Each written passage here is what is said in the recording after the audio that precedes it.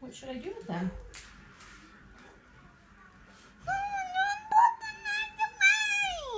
What should I do with them? Should I just leave them on the tree? I can't. The tree is all done. The Christmas tree served its purpose.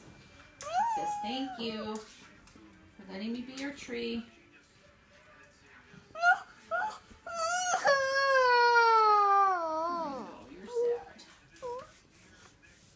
Did you love our tree? No, don't put it away. Should we get another tree next time? It's such a nice tree. You want this tree to stay in our house. You really like this tree. It's so green. It's dead as a doornail. It's so pokey. Did you touch the leaves? Did you feel how pokey it is?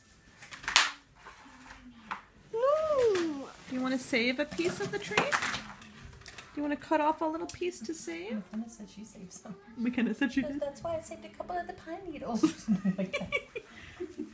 Ooh, Is it a little bit pokey?